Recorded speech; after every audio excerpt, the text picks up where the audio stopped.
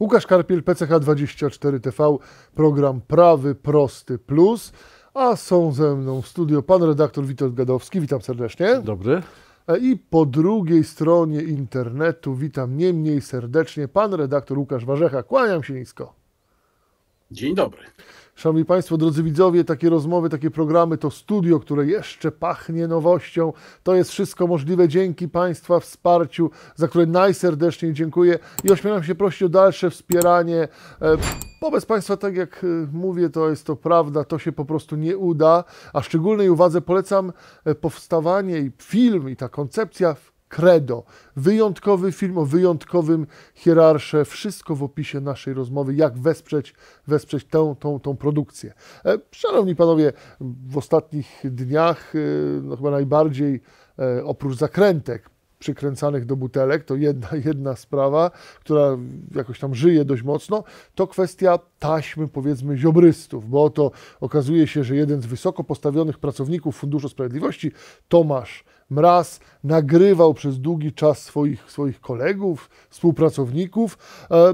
No i posypały się informacje, dają wszystkim zarobić te media rządowe, bliskie, bliskie rządu, kolejne taśmy ujawniają kolejne fragmenty. E, I to jest, gdybyśmy o tym się, o tym parę słów, e, także o nagrywaniu, o takim zwyczaju nagrywania, to jest bardzo, bardzo osobliwa historia, ale też gdybyśmy się, jak to się ładnie mówi, z troską pochylili nad tą dystrybucją środków publicznych przez, przez nasze państwo. I tu pan Witold Gadowski już widzę w blokach. To... Z nazwiskiem Mraz kojarzy mi się bardzo sympatyczny wokalista Jason Mraz. Mhm. Polecam, bardzo dobra muzyka, relaksująca, o dziwo. O. E, Natomiast y, y, w Polsce nazwisko Mraz Potem też objawiło się- śpiewa mraz. Ten Właśnie, zaczął śpiewać i to y, wszystko wam wyśpiewam, panowie. Ja wam wszystko wyśpiewam. wszystko wyśpiewam. Tak jest. Wąsiki a la Hercules Poirot, Aha, brudka a la Zbieg z krainy deszczowców, albo pan Kleks. albo pan Kle. Chociaż chyba ktoś, chyba poseł Matecki pisał, że to jest kamuflaż, że on tak nie wygląda. Że to A. jest taki...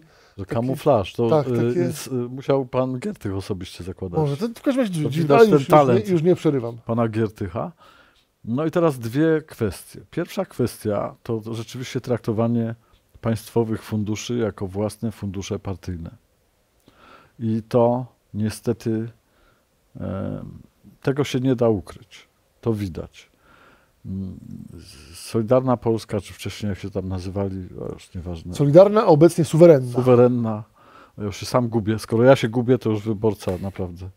Nic nie- Dlatego mówią ziobryści, tak, Tak. żeby więcej strachu było. Ziobryści.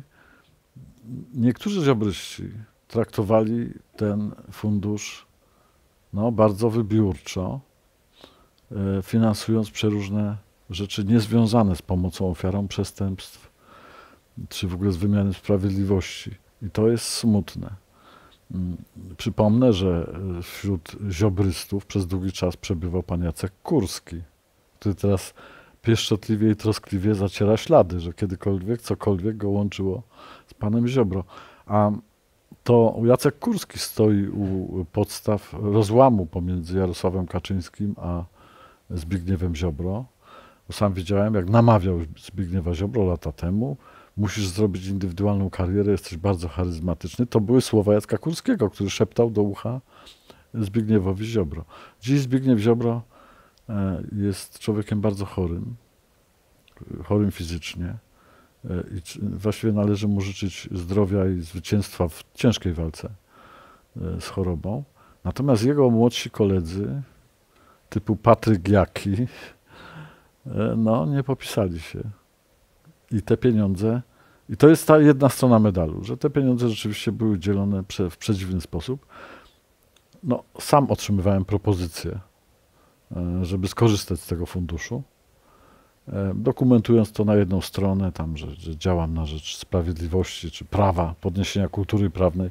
Na szczęście nigdy mnie nie korciło wyciągać ręce po cudze pieniądze, więc teraz śpię spokojnie. E, Gorzej śpią inni koledzy. Jeden opublikował nawet wielkie oświadczenie, że co prawda wziąłem, ale bez przyjemności.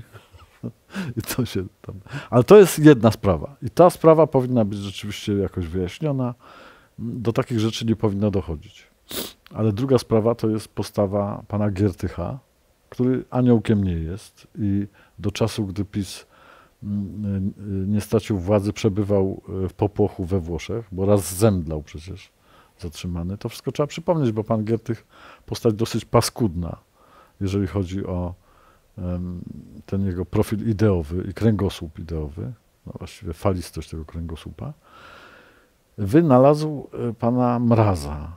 I pan Mraz w kamuflażu czy bez kamuflażu, to ma twarz nikogo właściwie. Więc jak się na niego patrzy, to można znaleźć takiego piszczyka, obywatela piszczyka z jakiegoś urzędu, który domalowuje coś na gazetkach ściennych i donosi uprzejmie panu kierownikowi. No i tu pan Mraz donosi, że nagrywał y, panów. To przez dwa lata. Tak, nagrywał. I to panów, którzy sprowadzali Pegasusa do Polski. Czy, znaczy finansowali przynajmniej sprowadzenie Pegasusa do Polski. A oni ich ponoć dyktafonem. Mocno kooperowali z panem Kamińskim, czyli po prostu niezwykle wykwalifikowani w tajnych działaniach i służbach młodzieńcy. Tak przynajmniej mogłoby się wydawać. Jak się okazało, wystarczył zwykły dyktafon w telefonie chyba komórkowym pana Mraza, żeby ich przez dwa lata nagrywać i teraz wypuszczać kolejne nagrania. Powiedzmy sobie szczerze, w gronie koleżeńskim różne rzeczy się mówi. I te rozmowy nie są jakoś bardzo bulwersujące, jeżeli chodzi o ich zawartość obyczajową. Natomiast pokazują rzeczywiście jakąś nieprzejrzystość w wydawaniu pieniędzy i temu należałoby się przyjrzeć. Czyli z jednej strony obrzydliwa postać pana Mraza, połączona z pa obrzydliwą postacią pana Giertycha, jako uprzejmie denuncjuje, para uprzejmie denuncjuje. Sygnalista. Sygnaliści, a to kapusie po prostu, mówiąc krótko. No, tak się to mówi czasem. Nagrywanie kolegów i wynoszenie tego jest przejawem niezbyt y, honorowej postawy, tak bym to ujął. To jest z jednej strony, a z drugiej strony to, co się wyłania, może to nie jest ogromna afera, ale bardzo szkodliwa, jeżeli chodzi o um, opis y, mechanizmów wydawania publicznych pieniędzy. To rzeczywiście jest szkodliwe. Takie rzeczy nie mogą mieć miejsca, ale podejrzewam, że w każdym funduszu, zarówno podległym PiSowi, jak i teraz podległym Platformie et consortes, dzieją się podobne rzeczy, tylko może mraza nie ma, który by nagrywał. Albo jest, ale nagrania ukażą się później, jak nastąpi nowy sezon władzy. No właśnie, można odnieść, odnieść wrażenie, że to po prostu chodzi o to, żeby, żeby teraz ktoś inny brał te pieniądze. Zresztą pojawiła się taka informacja, już, że, już wyborcza że, Tak, właśnie, pieniądze. że płyną pieniądze do, tak. do koncernu tam wydającego e, gazety gazetę Rzężąca Agora, która musiała zwolnić nawet Pawła Wrońskiego, który pobiegł Teraz... do Ministerstwa Spraw Zagranicznych na urząd rzecznika, bo poprzedni dziennikarz Gazety Wyborczej, pan Bosacki, już jest ambasadorem, mhm. czy byłym ambasadorem i przyszłym ambasadorem. Takie są kariery pismaków z Gazety e, Wyborczej. Zdolni ludzie to awansują. No, no więc teraz będzie można młodzież tą lewa, lewicową zaciągnąć z powrotem, bo przyjdą pieniądze ze Skarbu Państwa. Jak to mówią, jak do tego systemu rurek swój własny wkręcić kurek. E, i pan, pan Łukasz Warzecha w sprawie, no właśnie, nie zeznań przecież, bo właściwie nagrań pana, pana Mraza i dystrybucji tych środków e, publicznych. Też prosiłbym o komentarz.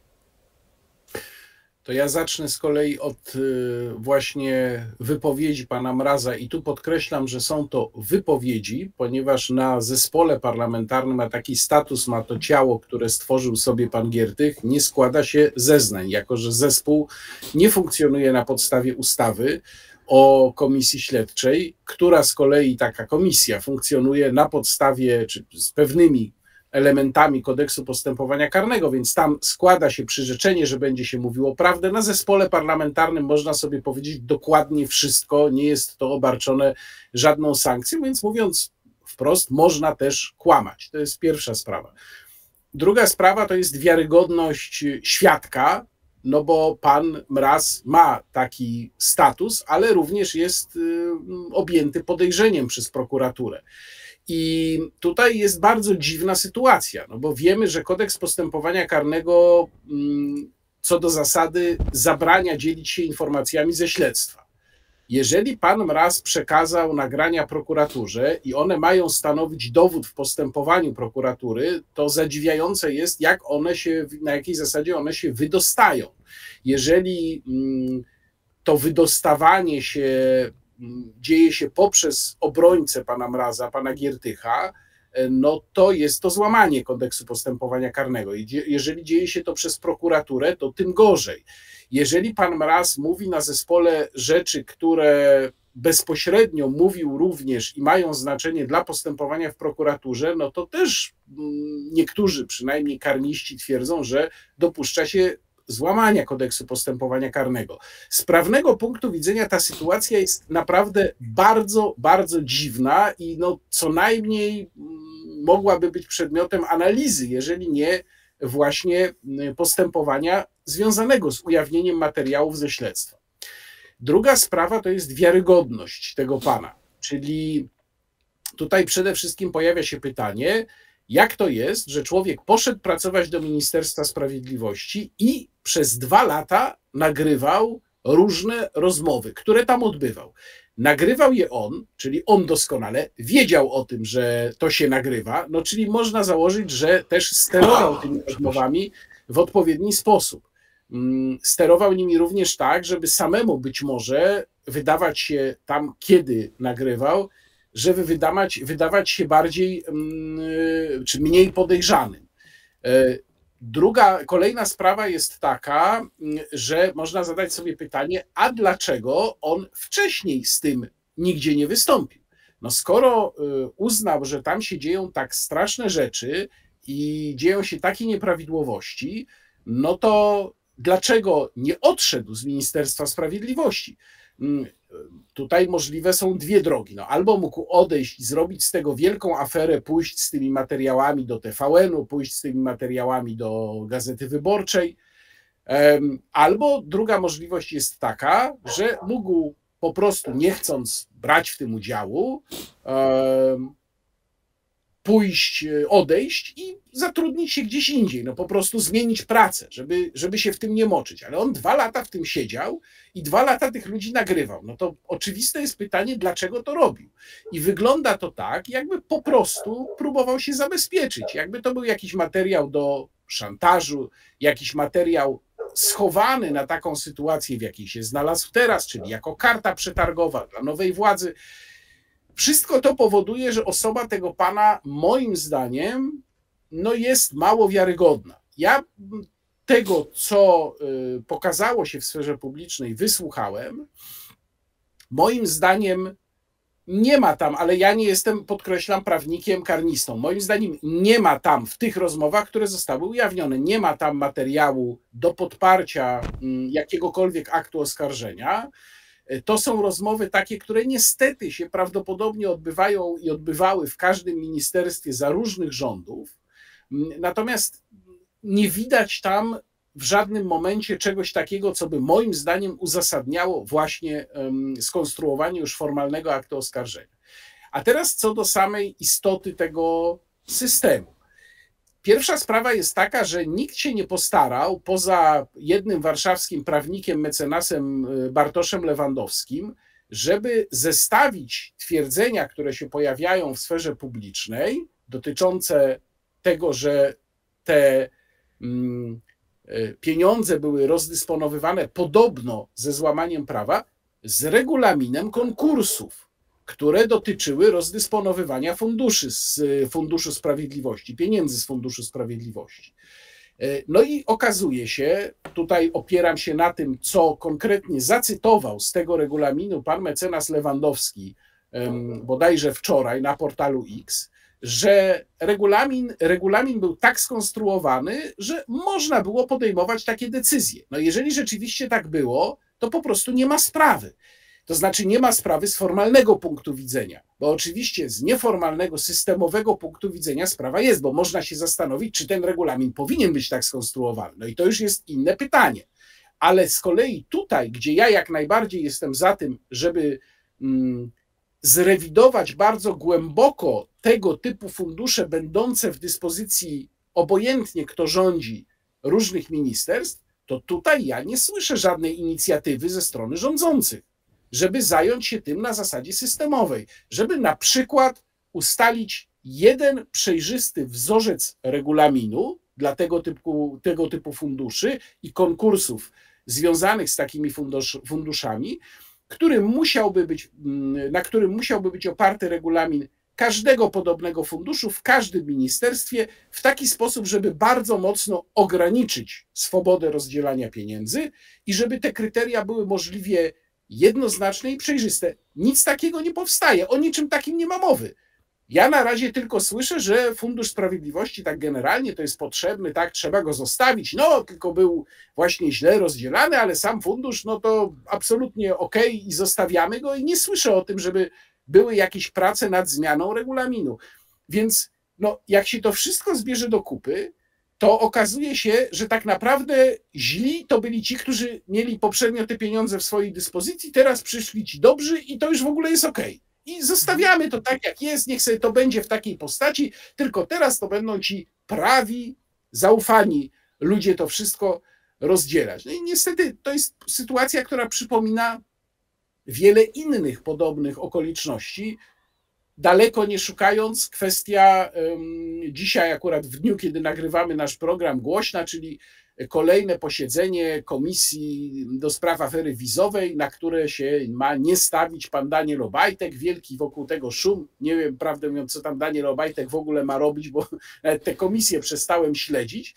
Natomiast, no, czy za obradami tej komisji i w ogóle za kwestią afery wizowej idzie jakikolwiek pomysł na systemowe uregulowanie kwestii imigracji do Polski? Oczywiście, że nie.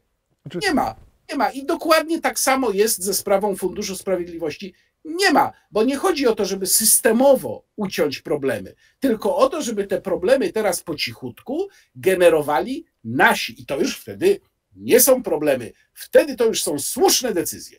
Właśnie to ewidentnie widać, że raczej jest to kwestia tego rozliczania, jak oni to nazywają, czego elektorat podobno i właściwie nie podobno na pewno się domaga, żeby tych pisowców rozliczyć, a system niech zostanie tak jak, jak jest, no bo przecież nie kury znoszącej złote jajka się, mówiąc brutalnie, nie zarzyna, tylko właśnie chodzi o to, kto, kontynuując tą metaforę, te złote jajka będzie w koszyczku, w koszyczku wynosił.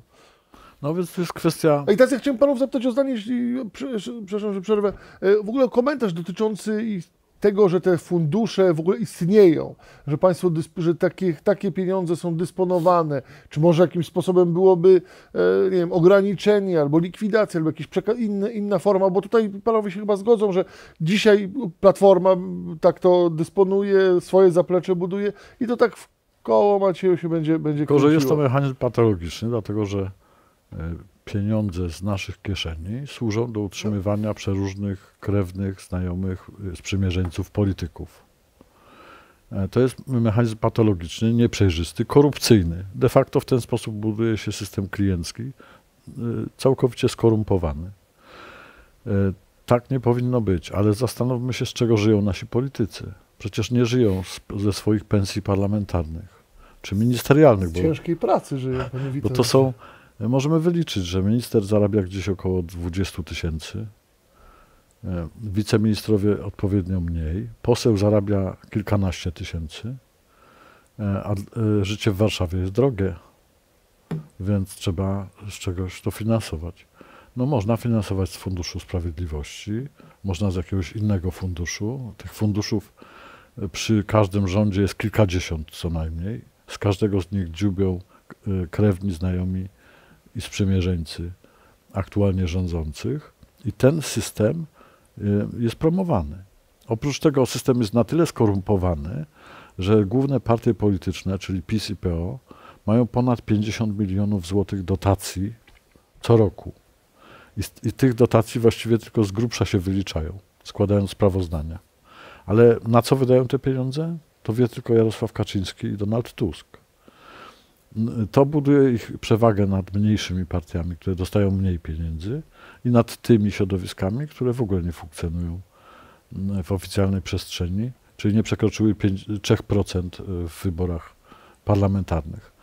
To pokazuje, że y, popierając taki system, czyli z jednej strony system korupcyjnego wspierania swoich sprzymierzeńców, to są właśnie te fundusze, a z drugiej strony finansowania z budżetu państwa, tak szerokiego partii politycznych, e, popieramy za skorupienie polskiego świata politycznego w tym kształcie, w którym on jest teraz, czyli w bardzo niesłużącym polskiej suwerenności i polskim interesom kształcie. Mhm. Tak, ktoś by mógł powiedzieć, że pewne środowiska nie przeżyłyby, gdyby nie takie e, fundusze płynące, płynące z rządu. No, tylko Oczywiście, żeby nie przeżyły, a, ale przecież do tego są jeszcze fundusze remontowe, mhm. zlecenia przeróżne, przetargi. W służbie więzienniczej, gdy sprawdzimy, kto wygrywał przetargi, kto wykonywał e, inwestycje, no to będziemy mocno zdziwieni. No i tak można każde ministerstwo sprawdzać. No bo już sobie wyobrażam, już panu Łukaszowi Warzeszy oddaję głos, kiedy teraz te wszystkie środowiska lewicowo-liberalne, tęczowe i tak dalej, tylko po prostu aż im ręce chodzą, żeby tylko się wkręcić teraz Oni system. tylko z dotacji no. żyją. Oni żyją z dotacji z fundacji Sorosza, Batorego, ty, tym podobnych fundacji, albo z funduszy rządowych, które teraz będą do nich kierowane, bo, taka, bo taką mamy władzę, jakby powiedziała pani Bieńkowska. Więc to jest mechanizm państwa skorumpowanego. To jest korupcja polityczna. To jest nieprzejrzysty przepływ finansowy i utrzymywanie całej kasty ludzi, którzy nominalnie nie zarabiają wcale dużo, ale żyją na bardzo wysokiej stopie życiowej. E, I należałoby to zbadać, bo to wszystko idzie z naszych kieszeni. No właśnie, to jest, myślę, wydaje najważniejszy, najwyższy problem. I też jeszcze pan Łukasz Warzecha do tego systemu jakby się odniósł i jaką propozycję miałby pan redaktor. No, ja mm, już dawno temu sygnalizowałem, mówiłem wielokrotnie, że system subwencji dla partii politycznych, taki jaki został, no można powiedzieć, z bardzo szlachetnych powodów przecież skonstruowany, bo przypomnę, że mm, kiedy ten system był konstruowany, a myśleli nad nim takie, myślały nad nim takie tęgie głowy jak świętej pamięci Ludwik Dorn czy, czy mm, Jan Maria Rokita, no to Mm, motywacją było to, i to była, jak mówię, motywacja chwalebna, żeby nie było zbyt dużego finansowania prywatnego, dlatego że ono mogłoby, mm, za nim mogłaby iść właśnie korupcja polityczna. No, tylko okazało się, że system niestety został przegięty w drugą stronę. To znaczy, mamy system, w którym partie mogą gromadzić pieniądze z subwencji, mogą je kumulować przez lata, i w związku z tym, nawet gdybyśmy teraz ten system zmienili, to mamy kilka ośrodków, takich jak PSL, jak Lewica, no i przede wszystkim Platforma Obywatelska plus Prawo i Sprawiedliwość, które się na tych subwencjach już utuczyły. I one i tak miałyby ogromny handicap, nawet gdybyśmy w tym momencie ten system zmienili, bo one już zgromadziły z publicznych pieniędzy ogromne zasoby. Dlatego wielokrotnie sygnalizowałem, że jeżeli chodzi o o subwencje, to zasada powinna być prosta. Subwencje są na jeden rok i to, co jest niewydane, wraca do budżetu państwa. I mało tego, rozliczenie tego musi być na bieżąco, a nie tak jak jest teraz, jeden raz w roku w sprawozdaniu w komisji wyborczej, tylko na bieżąco upublicznione. To nie jest absolutnie żaden problem. Są instrumenty technologiczne, żeby to pokazywać. Powinien być również zakaz inwestowania tych pieniędzy w takim sensie jak inwestowanie w coś, co potem ma przynosić przychód, nie wiem, czy, czy, czy w papiery wartościowe, czy w cokolwiek takiego. To po prostu powinno być zabronione. No ale tak jak powiedziałem, nie ma woli, bo system musieliby zmienić ci, którzy na nim korzystają. No to jest oczywiste, że tego nie zmienią, prawda? E, no i oni też są do przodu. Jeżeli chodzi o pieniądze, które są w dyspozycji ministrów czy polityków szerzej, to nie są to oczywiście tylko fundusze takie jak Fundusz Sprawiedliwości. To na przykład są również pieniądze, które do dyspozycji mają w budżetach reklamowych i ministerstwa, i spółki Skarbu Państwa. Albo spółki Skarbu Państwa, ale spółki z decydującym udziałem Skarbu Państwa, i to są też gigantyczne pieniądze. To nawet jest jeszcze ważniejsze. No i tutaj też nie ma żadnych przejrzystych, jednoznacznych czytelnych zasad, bo można by argumentować, ja widzę takie spory w tej chwili w, w internecie, że Gazeta Wyborcza, e, jak na swoją siłę oddziaływania i, że tak powiem, sprawczość, efektywność marketingową, była niesłusznie odcięta od pieniędzy reklamowych. I tak, rzeczywiście, ja się muszę z tym zgodzić, patrząc tylko na samą efektywność marketingową. Oczywiście sprzedaż gazety wyborczej bardzo spadła w ostatnich latach, no ale nadal ona dociera do potencjalnie ważnego segmentu kupujących. Ale z drugiej strony odcięty z kolei za Platformą Obywatelską i teraz też od mm, pieniędzy z reklam spółek Skarbu Państwa był cały segment różnego rodzaju magazynów o orientacji konserwatywnej czy prawicowej, gdzie przecież struktura czytelników też to nie są jacyś, nie wiem, sami emeryci na przykład, tak jak się czasem zarzuca. Znaczy, absolutnie był sens, żeby pieniądze szły również na reklamy w tego typu magazynach, w tego typu pismach czy portalach. Nie było ich tam. Dlaczego? No z powodów ściśle politycznych. Więc tak naprawdę no, wniosek z tej naszej rozmowy teraz może być tylko taki, że powinien być, powinna być absolutnie głęboka, naprawdę głęboka, taka właściwie do samego spodu reforma sposobu wydawania pieniędzy publicznych na różnych poziomach. Ale oczywiście no, tego nie będzie i chyba ani ja w to nie wierzę, ani Witold, ani e, Łukasz Karpiel, że ktokolwiek zrobi zamach na system, który tak świetnie działa, oczywiście świetnie działa dla tych, którzy są przy władzy. I jak oni są przy władzy, to widać tylko patologie, które były za poprzedniego systemu i zawsze sprowadza się to do tego samego, bo wtedy byli niewłaściwi ludzie, a teraz już są, są ci właściwi. Oni są cnotliwi, oni chcą dobra Polski, i oni już nie dzielą tymi pieniędzmi. To ci poprzedni dzielili. To były pieniądze, które dzieliły i sposób ich wydawania dzielił Polaków, a teraz łączy Polaków. No i tak można się bujać w nieskończoność. Łączy tylko... i jeszcze sprawia, że Polacy jednoznacznie, że się Polacy bardziej uśmiechają, już tak pijąc no, do tych tylko, haseł. Y, przypomnijmy, że to wszystko się dzieje za nasze pieniądze. No czyli no tak. my ten cyrk finansujemy. Otóż to. Tymczasem w Polsce zbudowano system y, cuius regio, eius religio Czyli czyja władza, tego pieniądze. Mhm. No i w ten sposób budujemy teraz reklamy dla Michnika, e, czy dla Newsweeka, czy Szpigla. I, i, I, teraz ci się będą tuczyć, podczas gdy za rządów PiSu tuczyły się Gazeta Polska, w sieci i parę innych periodyków. No niestety taka, taki fatalizm tu jest. No miejmy nadzieję, że ktoś w końcu się znajdzie, kto to, kto to przerwie albo zreformuje, tak jak pan, pan Łukasz Warzecha mówił. Ale ja mam jeszcze takie jedno zdanie e, a propos, a propos, jak słuchałem tego, co pan Łukasz Warzecha mówił na temat takiej pewnych wątpliwości na temat wiarygodności pana, pana Mraza, to ja się tak zastanawiałem, a czy może, może ktoś nagrywał pana Mraza, że są jeszcze, takie taśmy, gdzie to pan Mraz nie jest nagrywającym, tylko on jest, jest nagrywany. To jest pytanie, kto nagrywa Mrazów. No właśnie. Kto, ja odpowiem, oficer prowadzący. No to jest właśnie ten wątek w, kilka zda, w kilku zdaniach by panowie, e, panowie skomentowali, bo ja mam wrażenie, że w takich sprawach służby e, może się nie pojawiają oficjalnie, ale właśnie ktoś tych Mrazów nagrywa. Nasze służby specjalne y, są bardzo skuteczne w szantażowaniu polityków i wysokiej rangi urzędników, a także osób e, znanych publicznie, do tego, żeby wykorzystywać ich wypowiedzi w sobie wiadomych celach. W tym są bardzo skuteczne. Dużo mniej skuteczne są w łapaniu szpiegów, do czego są powołane, i w zabezpieczaniu bezpieczeństwa wewnętrznego naszego kraju. Tu są kompletnie nieskuteczne.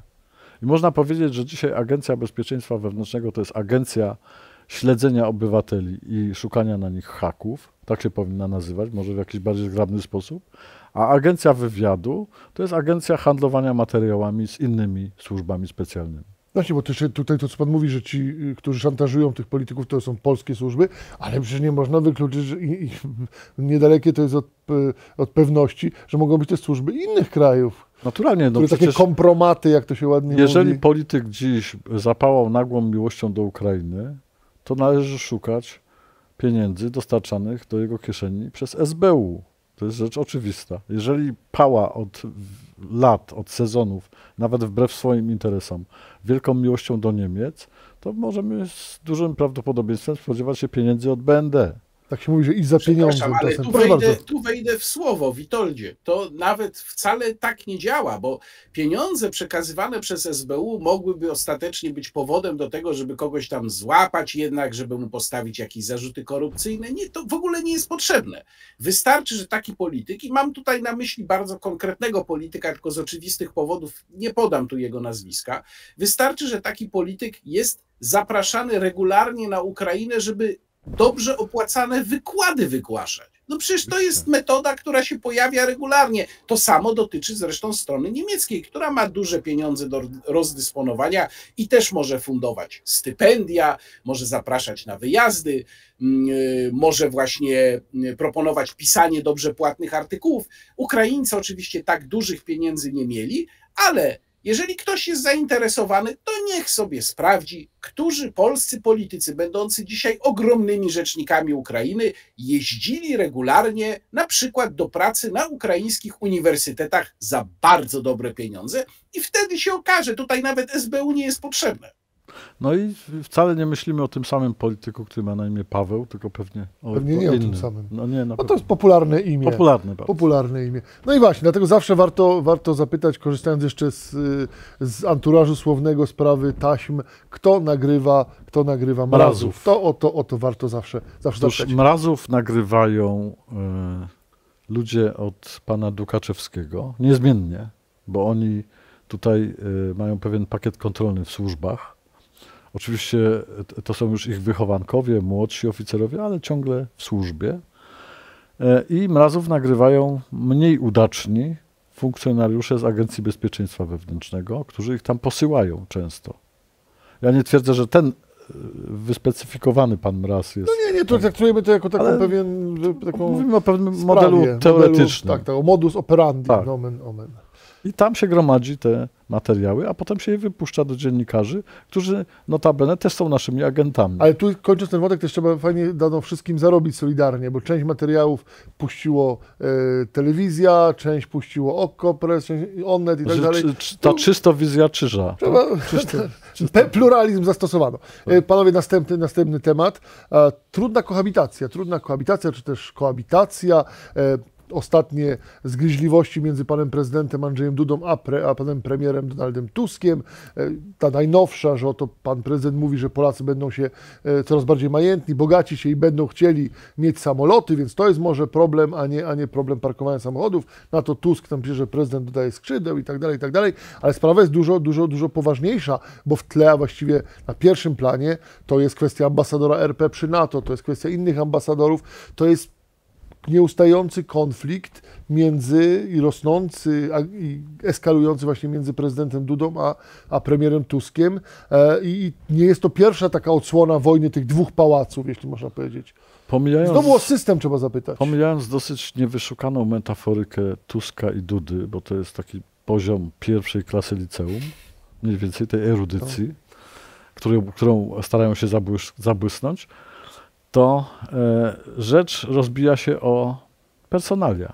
Rzecz rozbija się o to, że pan Andrzej Duda, pan prezydent Andrzej Duda, ma w dyplomacji całkiem sporą drużynę swoich współpracowników, których tam wysłał. To jest pan Soloch, pan Kumoch, pan Magierowski,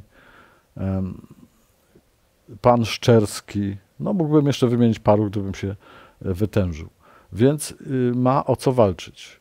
Jeżeli chodzi o placówkę przy NATO, to jest tam pan Tomasz Szatkowski, dotychczas bardzo mocno kojarzony z Antonim Macierewiczem, ale w ostatnim czasie w dobrych kontaktach z panem prezydentem Andrzejem Dudą. A więc z jednej strony pan prezydent Andrzej Duda walczy o swoich ludzi, o personalia po prostu, o ich pieniądze, pozycje, a z drugiej strony Radosław Sikorski wraz z Donaldem Tuskiem chcą upchnąć 50 nowych wygłodniałych urzędników, którzy są zasłużeni dla ich drużyny. I to jest przepychanka personalna. Tu nie chodzi o żadne pryncypia, idee, tylko chodzi o pieniądze i nazwiska. Moi kumple są lepsi od waszych kumpli. I znowu podwórkowa retoryka z pierwszej klasy liceum. Aż z pana cynik jest, panie Witoldzie. No staram się to obserwować. Idee, Polska, coś, tylko koledzy i pieniądze, tak? No, jak pan Krzysztof Szczerski ma stracić dobrze opłacaną posadę przy ONZ-cie, a pan Magierowski ma być wysiudany z e, Nowego Jorku do Buenos Aires, gdzie już ani takich pieniędzy, ani takich możliwości nie ma, no to łezka... No, smutno. Łezka się roni. Człowiek no. na placówce tyle lat. A tu są nowi no tak. koledzy pana Sikorskiego, protegowani pana Tuska, niekoniecznie fachowi, bo tutaj fachowość jest na trzecim planie. Pierwszy plan to jest, kto jest kogo znajomym i z kim się ewentualnie podzieli apanażami, nie tylko jeżeli chodzi o pieniądze, bo już mówiliśmy o, tym, Mhm. o tych zaproszeniach, wycieczkach, konsultacjach. Różne, tak różne, różne możliwości, szanse. Pan Aleksander Kwaśniewski, który tak w cieniu przebywa, w samym koncernie Burisma potrafił zarobić milion dolarów. ukraińskim koncernie Bu- Burisma, tam gdzie był pan Hunter Biden, potrafił zarobić milion dolarów rocznie. Potrafił zarobić kilka milionów dolarów od Nursultana Nazarbajewa z Kazachstanu za tak zwane ocieplanie wizerunku. Jakieś pieniądze wcześniej płynęły od Kuczmy. Więc jakby tradycje w tym już są, przed, te ścieżki są przetarte. A to jest bardzo ciekawy wątek. Myślę, że kiedyś też tym się warto zająć, co się dzieje z politykami. Tak jak pan tu mówi, Kwaśniewski to jest jedno, ale z takim troszkę jeszcze wyższej półki, choćby z tymi e, eurokratami z, najwyższego, z najwyższych szczebli. Jakie oni potem funkcje pełnią, gdzie się odnajdują, to jest też dość To już tylko jest interesujące. kwestia wysokości huśtawki, jak to Mhm. się mówi w Brukseli. Czy huśtawka jest wyżej zawieszona i wtedy się bierze setki tysięcy euro czy dolarów, czy niżej zawieszona, no i wtedy już są drobniejsze dla polskich polityków ważne pieniądze. Mhm, ale wracamy do naszego, naszego podwórka, jakże, jakże istotnego. Pan Kurski, czy Aha. pan Kurski był e, niezwykle e, utalentowanym bankowcem, Tak, żeby zostać wysłanym do Banku Światowego? tak. No tak. A, a teraz jest, umówiliśmy się, że jest niezwykle utalentowanym eu, kandydatem na europosła, a wcześniej też umówmy się, że Tak. był wy, wysoce e, predestynowanym do pełnienia funkcji prezesa telewizji publicznej. Czyli film Jak to się robi, Maklakiewicz z Himmelsbachem. Umówmy się, pan jest znakomitym reżyserem, a, a pan jest scenarzystą Tak jest. na bardzo wysokim poziomie i ja i pan widzimy siebie w Cannes. No tuż to, ja, a ci się widzą w Brukseli. No kiedyś to się mówiło, że ktoś jest omnibusem, polihistorem, takim człowiekiem renesansu. Tacy ludzie są wśród A- nas. ale Cieszmy się, że są. Zwróćmy uwagę, że od czasu, kiedy opru, opluto pana Magierowskiego w Tel Awiwie, do dziś nie mamy ambasadora w Tel Awiwie. To prawda. I To, działa wszystko bez, bez, bez ambasadora. no jak widać, Za to z panem Liwne, jako, jako ambasadorem, jakimś takim namieś, namiestnikiem, bo tak mu się chyba uroiło, Mhm. w Polsce. No zdecydowanie jego ambicje daleko sięgają. Pan Łukasz Warzecha w sprawie tego, tego konfliktu tych dwóch pałaców, bo to jest sprawa, sprawa poważna, bo przecież już pamiętamy też z historii Polski e, takie, takie konflikty i one się czasem bardzo, bardzo źle kończyły. No, ja tutaj trochę inaczej podejdę do tego niż Witold, może mniej cynicznie. To znaczy, ja bym jednak podzielił te nominacje na co najmniej dwa segmenty. Jedne to rzeczywiście są takie, których jedyną motywacją była chęć zrobienia dobrze koledze, i takie na pewno były. Natomiast jeżeli mm, spojrzymy na pana. Na pana Magierowskiego czy na pana Szatkowskiego, to moim zdaniem one należą jednak do innej kategorii. No, przykładem tej pierwszej kategorii może być pan minister Szczerski. Tu bym się zgodził, że to, to było po prostu posłanie mm, zasłużonego kolegi, który już sprawiał wręcz problemy w kancelarii prezydenta, koniecznie coś chciał dostać, no to dostał. Natomiast y, pan Szatkowski, no to jest sprawa bardziej skomplikowana. Pan y, ambasador Szatkowski, z którym zresztą miałem okazję nie tak dawno się w Brukseli zobaczyć, y, rzeczywiście dobiegł tego okresu, który normalnie ambasador mm, spędza na placówce. I sprawa jego wymiany nie budzi wątpliwości. Wątpliwość budzi co innego, to znaczy, czy ta wymiana ma nastąpić przed szczytem NATO najbliższym, czy po.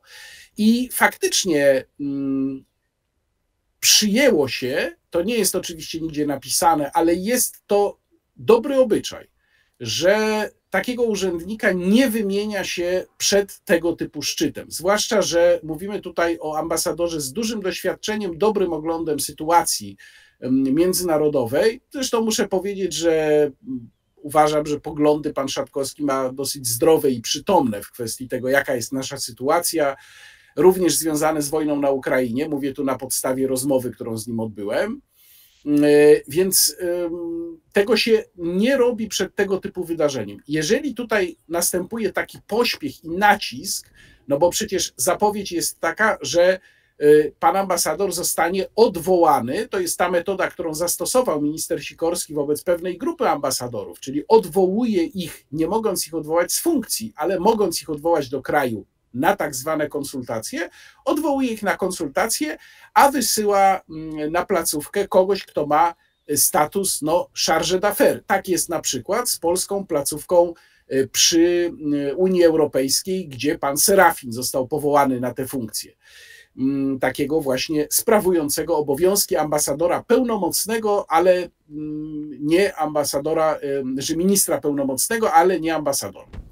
E, I e, no ja jestem, znaczy ja się zastanawiam, kto tutaj zadziałał w sprawie pana Szatkowskiego. Nie sądzę, żeby inicjatywa wyszła od pana ministra Sikorskiego, ponieważ skądinąd wiem, że relacje pomiędzy panem ministrem Sikorskim a panem ambasadorem Szatkowskim były dobre więcej niż przyzwoite, więcej niż poprawne, były dobre. I pojawiła się kwestia odwołania przed szczytem w, w Waszyngtonie, no czyli kto tutaj musiał nacisnąć? No ten nacisk musiał pójść z góry. Czyli to musiał być nacisk prawdopodobnie od pana premiera. Jest pytanie, dlaczego? Dlaczego panu premierowi zależy na tym, żeby to nie był pan ambasador Szatkowski, który będzie jeszcze Polskę tam reprezentował? Jeżeli chodzi o pana ambasadora Magierowskiego, mm, no to tutaj też jest kwestia tego, jakie są jego dokonania, jakie są jego kompetencje. Ja kompetencje oceniam dosyć wysoko. Oczywiście tak krawiec kraje, jak mu materii staje, więc to też jest kwestia tego, jaką politykę prowadzi nasz kraj, no bo żaden ambasador przecież nie prowadzi własnej niezależnej polityki, tylko reprezentuje swoje państwo. Y, natomiast y, będziemy mieli za chwilę jeszcze jeden problem, bo w tej chwili ten problem polega na nominacjach ambasadorskich i na tym, że jak się wydaje, pan premier Tusk próbuje wywrócić pewien układ, który zdążył zawrzeć z panem prezydentem pan minister Sikorski. To jest też godne uwagi. Obaj ci politycy na początku działania tego rządu, jak się wydaje, dogadali się w pewnych sprawach. Jeżeli to porozumienie zostaje wywrócone, to ono nie zostaje wywrócone, taka jest moja teza i diagnoza, przez pana ministra Sikorskiego, tylko zostaje wywrócone wyżej, czyli właśnie przez pana premiera Donalda Tuska. Ale będziemy, jak mówię, mieli za chwilę kolejną sytuację problematyczną, czyli będziemy mieli w pierwszej połowie 2025 roku polską prezydencję w Unii Europejskiej. I e, jak wiadomo, mamy uchwaloną w ubiegłym roku ustawę tak zwaną kompetencyjną, która, ma, która mm, jest nowelizacją ustawy z 2010 roku. I ona jest, e, ona ma precyzować, jakie są kompetencje pana prezydenta w poszczególnych kwestiach związanych z polską prezydencją. Również wymaga na przykład akceptacji pana prezydenta dla wysuwanych przez rząd kandydatów na stanowiska w Unii Europejskiej. No i tutaj jest oczywiście kamień niezgody, bo pan premier już zapowiedział, że rząd tej ustawy nie będzie przestrzegał, bo uznał, że ona jest sprzeczna z konstytucją, czyli jak rozumiem, pan premier ma teraz kompetencje Trybunału Konstytucyjnego, już zupełnie dowolnie sobie uznaje, co jest sprzeczne z konstytucją, a co nie, czego przestrzega, czego nie przestrzega, ale ustawa jest. No i oczywiście można mieć wątpliwości. Ja sam, jak ją czytałem, to miałem pewne wątpliwości, czy ona nie wykracza jednak poza mm, konstytucyjne określenie, że y, prezydent współdziała z rządem w dziedzinie polityki zagranicznej. Można takie wątpliwości mieć, no ale ona jest i ona nie została uznana za nieko, niekonstytucyjną przez Trybunał Konstytucyjny. No i co teraz? No bo będziemy mieli jakieś postulaty pana prezydenta, który się oprze na tej ustawie kompetencyjnej, i jednocześnie będziemy mieli rząd, który powie: A figa, panie prezydencie, a my sobie po prostu wyślemy swojego własnego przedstawiciela, nie będziemy się w ogóle z panem konsultować. Więc to będzie kolejne pole do nieporozumień tam, gdzie państwo tak naprawdę powinno działać w sposób no, mocno skoordynowany. Właśnie, czyli prawdopodobnie czeka nas kolejna wojna o krzesła, tylko, która, która już była, a sytuacja raczej nie skłania. Tak, tylko taki... właśnie, bo tu jest kwestia bardzo ważna. Tu rzeczywiście już e, śmieszkować nie ma co, ponieważ e, do dziś nie znamy agendy polskiej polityki zagranicznej. Ku czemu Polska dąży? Jakie sojusze Polska prezentuje, poza tymi, o których wiemy od 30 lat? Jaką agendę na najbliższe miesiące i lata będzie realizowała polska dyplomacja? No tego nie wiemy. A zatem trudno jest dziś mówić o kompetencjach jak, jakichkolwiek kandydatów, skoro nie wiemy, do czego oni mają dążyć. Bo czym innym jest pan Magierowski, który jest poliglotą, zna języki, zna świat e, i jako ambasador może być sprawny, a czym innym jest wykonawca określonej polityki. Ambasador musi wykonywać pewną strategiczną politykę danego państwa. I jeżeli na przykład uznalibyśmy, ale właśnie co mam na myśli, bo mówię y, ogólnikami, jeżeli uznalibyśmy, że y, w Niemczech ważna jest, ważny jest rozwój polskich placówek kulturalnych, fundacji, y, polskich ośrodków wpływu i oddziaływania, to należałoby powołać człowieka, który potrafi to robić ale trzeba byłoby wyartykułować, że po prostu wobec Niemiec prowadzimy taką politykę. Wobec Stanów Zjednoczonych y, też konkretnie jaką politykę prowadzimy. I pytanie, o które ciągle zadaję, dlaczego nie mamy dzisiaj strategicznych stosunków z Turcją? To jest poszerzenie pola walki, jakby to powiedział klasyk. No tak, tutaj, kiedy, nie wiem, prezydent Andrzej Duda tam składał y, gratulacje, czy przynajmniej gratulacje, broń Boże, co ja mówię, wyrazy współczucia po śmierci prezydenta, prezydenta Iranu, to też się na niego bardzo rzucono, że oto, że oto dialoguje z takimi zbrodniarzami, z takim no, a to, to się rzucili konsomolcy i mhm. politrucy, ponieważ w tym wypadku, akurat y, rzadko chwalę pana prezydenta, w tym wypadku pan prezydent stanął na wysokości zadania. W końcu zginął prezydent dużego kraju, i minister spraw zagranicznych tego kraju. I to w bardzo niewyjaśnionych okolicznościach, z których co, coraz więcej faktów wskazuje na to, że to mógł być zamach. Zresztą jakoś tak z polską historią ostatnich lat to tak. się rymuje też tak. Przynajmniej... No, tych prezydentów y, y, zabito już mhm. y, 13 bodaj, od 49 roku, w, w, tylko w wypadkach lotniczych, tak policzyłem. Więc y, to było ważne zdarzenie. I nie, nie, jest istotnym y, fakt, że Polska dziś jest w sojuszu ze Stanami Zjednoczonymi i Izraelem, a Iran jest w sojuszu z y, Rosją i Chinami, tylko ważnym jest na arenie międzynarodowej fakt śmierci przywódcy jednego z największych państw y, świata.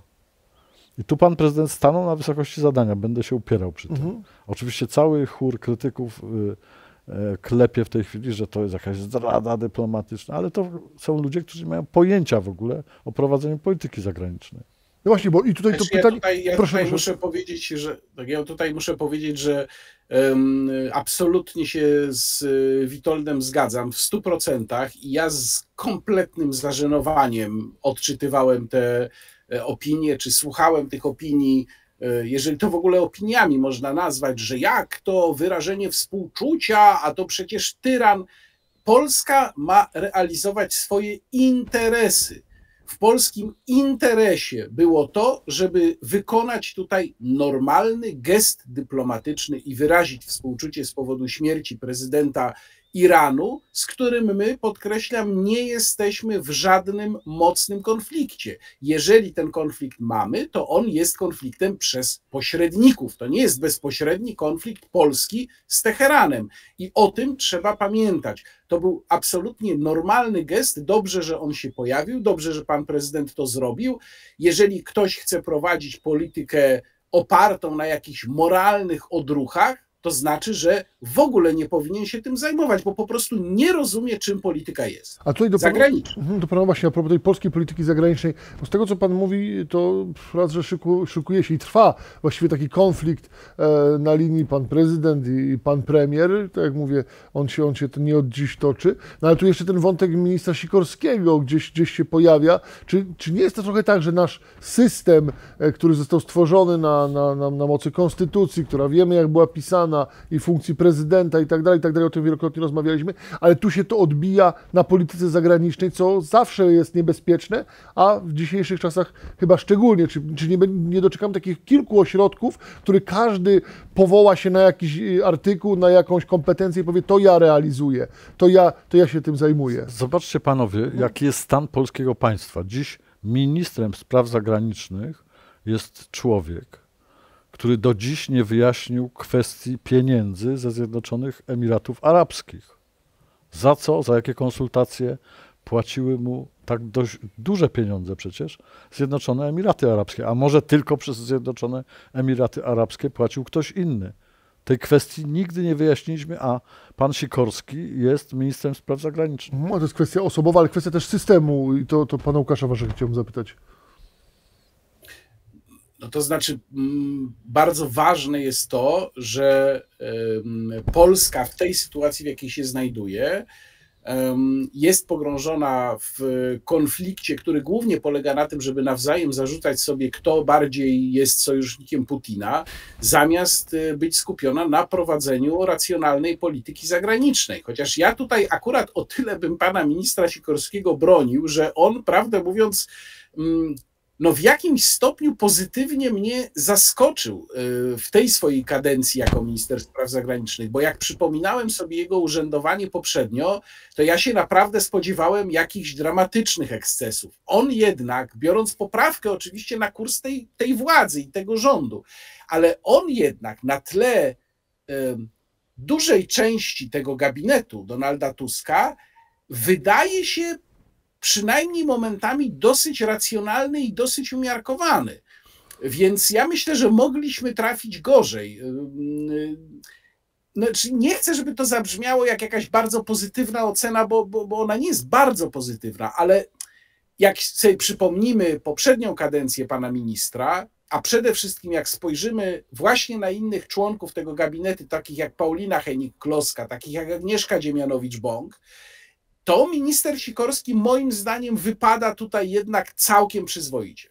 Mhm. A zwłaszcza jeszcze chciałbym... w porównaniu z panią Kotulą. No tak, to, to, to, to nie jest o, konkurencja. O, o, to pan obniżył poprzeczkę, tak to ale nie, ale tu jeszcze chciałem pana Łukasza Warzego też zapytać właśnie o ten, o ten potencjalny konflikt wynikający, wynikający ze, ze systemu, który w Polsce, w Polsce obowiązuje, tych relacji, relacji między właśnie prezydentem, premierem, ministrem spraw zagranicznych. Czy podobnie nie jest w kwestii rządzenia, mówiąc tak kolokwialnie, siłami, siłami zbrojnymi? E, jeżeli jest ta właśnie sytuacja kohabitacji, to ona tym bardziej jeszcze utrudnia, utrudnia funkcjonowanie z racji tego, tak jak powiedziałem, bo przepis, każdy może się na swój powołać i mówić to ja, to ja tu rządzę. I czy jest no w ogóle szansa, że ktoś coś zmieni z to? To jest... No ale to jest przecież wpisane w nasz system. To jest wpisane w naszą konstytucję, która celowo została skonstruowana w taki sposób, żeby nikt tutaj nie miał jakiejś wyraźnej przewagi. I oczywiście y, my możemy na to narzekać, no tylko co my możemy z tym zrobić? No żeby, żeby zmienić ten system, to można zrobić dwie rzeczy. Pierwsza, uchwalić ustawę, która będzie to klarowała. I jak powiedziałem, taka ustawa, tak zwana kompetencyjna, została uchwalona najpierw, no już z tego co pamiętam, po tragicznej śmierci pana prezydenta e, Kaczyńskiego, teraz została znowelizowana. No ale jak się okazuje, to niewiele daje, no bo w sytuacji tego chaosu prawnego, jaki mamy, przychodzi pan premier, który mówi, a ja nie będę tej ustawy przestrzegał i nie mam pańskiego płaszcza i co nam pan zrobi, prawda? A druga możliwość lepsza to by była zmiana konstytucji. No tylko, że do zmiany konstytucji potrzebna jest i większość konstytucyjna, znaczy potrzebna jest większość konstytucyjna, która zrozumie, że to jest korzystne dla Rzeczypospolitej. A w takiej atmosferze, w takiej sytuacji, przy tej jakości polityków, którzy zasiadają dzisiaj w Sejmie, no chyba jest oczywiste, że takiej większości nie ma. Być może, znaczy to jest takie moje założenie bardzo, powiedziałbym, ryzykowne. Być może kiedy się, gdybyśmy się przejechali na tym naprawdę w jakiejś granicznej sytuacji, bardzo boleśnie na tym rozdźwięku i na tej, na tej desynchronizacji polityki zagranicznej, która wynika z obecnej konstytucji, to może by przyszło jakieś oprzytomnienie, choć nawet tutaj mam wątpliwości, bo jak przypomnimy sobie historię Rzeczypospolitej, która jednak jest pewną ciągłością i zobaczymy, że po 1939 roku nie było tak naprawdę żadnych systemowych wniosków, tylko było dobra, to teraz Piłsudczycy są na dnie, no to my im teraz pokażemy. I to druga frakcja po prostu wygrała i druga frakcja Piłsudczyków, nawet najbardziej kompetentnych, umieściła na wyspie węży w obozie, bo przecież oni nie mogą być teraz górą, bo oni byli górą tyle lat, no to teraz my, panie. No i to tak niestety się rozgrywa, a, a pamiętajmy, że przecież to było po największej klęsce Rzeczypospolitej od wielu, wielu lat, klęsce w wojnie obronnej 1939 roku i nawet to Polaków nie otrzeźwiło, to znaczy Polaków, elit Polski, nawet to nie otrzeźwiło. No właśnie. Króciutko i przechodzimy na następne Tutaj rzeczy, mamy y, pewną, pewien eufemizm, o, o którym trzeba powiedzieć parę słów. Elit. Polska ma różne bogactwa naturalne, przeróżne. To pan inżynier Tytko tutaj specjalizuje się w wymienianiu, ale nie ma jednego elit. Nie mamy tego bogactwa naturalnego. To jest tak jak drzewo bez stożka wzrostu. Drzewo, któremu obcięto stożek wzrostu, ono idzie na boki, płoży się, ale nie idzie do góry. I, i to jest bardzo dojmujące. Węgry posiadają tą elitę, no oczywiście proporcjonalną w stosunku do narodu i widać od razu jakość polityki węgierskiej. I widać jakość naszej polityki. Tak, tak więc e, możemy na, utyskiwać nad e, konstytucją, nad e, handryczeniem się elit, ale dopóki nie dorobimy się prawdziwych elit, z prawdziwego zdarzenia, czyli nie elit finansowych, bo un, teraz dziś w Polsce elitą jest ten, kto ma dużo pieniędzy. Mhm. To pokazuje na e, znaczący brak elit w ogóle, jeżeli to jest miernikiem bycia e, elitą. Konstytucja z 1997 roku, tak zwana konstytucja Kwaśniewskiego, została pisana niestety pod dyktando lobby niemieckiego, rosyjskiego, po to, żeby e, destabilizować układ władzy w Polsce i wprowadzać w niego chaos. I efekty mamy dziś. Dopóki nie zmienimy konstytucji, system rządzenia w Polsce się nie wyklaruje. Teraz musimy przesądzić, jaką konstytucję, jakiej konstytucji chcemy, w jakim mhm. kierunku i tak dalej. Oczywiście są pomysły bardzo konkretne, no ale to już zupełnie inna historia. Jasna sprawa. Inna sprawa, że nasi sąsiedzi już też się skutecznie starali, żebyśmy tych elit nie mieli. Oczywiście. Tutaj mieli naprawdę na tym odcinku wielkie, wielkie sukcesy. I panowie, ostatni, ostatni wątek, czyli pakt imigracyjny, który został przyjęty i wbrew zapowiedziom premiera Donalda Tuska Unia, Rada Europejska przyjęła pakt migracyjny, ale premier dalej przy swoim jest, że Polska mówi, mówi, że deklaruje, że Polska nie przyjmie imigrantów, nie będzie płaciła żadnych kar. No i teraz pytanie, czy to jest takie zaklinanie rzeczywistości, czy Donald Tusk jest takim y, mocnym, mocnym zawodnikiem, że tak zrobi? Donald Tusk zachowuje się jak bezczelny Jasiu przy tablicy w czasie lekcji matematyki. Bezczelny Jasiu napisał, że 2 plus 2 równa się 5. Pani mówi, Jasiu, równa się 4. Tak, równa się 4. No ale napisałeś 5. Wcale tak nie napisałem. I tak się zachowuje Donald Tusk. Podpisał pakt, z tego paktu wynikają konkretne zobowiązania, a on mówi, nie, nie będzie żadnych migrantów, bo ja załatwiłem. A jak pan załatwił? No, to już moja tajemnica słodka. Nie interesuj się. Nie interesuj. To jest poziom głupiego Jasia pod tablicą w szkole podstawowej. Ale jak wi widać, to wystarcza na polską opinię publiczną. I znamy opinię pana wicezagadowskiego, a chętnie poznamy też opinię pana Łukasza Warzechy. No, moja jest y, tutaj bardziej ambiwalentna, bo mm, ja przyglądając się zapisom paktu migracyjnego, przede wszystkim widzę, że one jednak nie są tak jednoznacznie złe. W pakcie migracyjnym jedna rzecz jest y, bardzo zła, to znaczy to, że on y, miesza się w sprawę, która powinna być wyłączną kompetencją państw. I to jest no, sprawa fundamentalna. Po prostu tego nie powinno być i z tego powodu pakt migracyjny powinien zostać wyrzucony do kosza. Natomiast jak spojrzymy na jego zapisy, to tam są y, również takie, które mogą pomóc Europę oczyścić z mm, nielegalnej migracji, o ile zostaną skutecznie wcielone w życie. No i to na przykład jest znaczące przyspieszenie procedury wydalania migrantów z Unii Europejskiej, ale żeby to przyspieszenie mogło zadziałać, to trzeba by mieć podpisane umowy z, o readmisji z krajami, z których migranci nielegalni przybywają, bo co ciekawe, większość nie przybywa drogą y, taką stricte nielegalną, czyli na przykład przez morze, ale większość przybywa z krajów trzecich które mają podpisane umowy o bezwizowym ruchu z Unią Europejską. Oni przyjeżdżają, korzystając z tego, że takie umowy są, znaczy najpierw przyjeżdżają tam, potem do Unii Europejskiej, a potem nielegalnie zostają. I to jest niestety największy problem.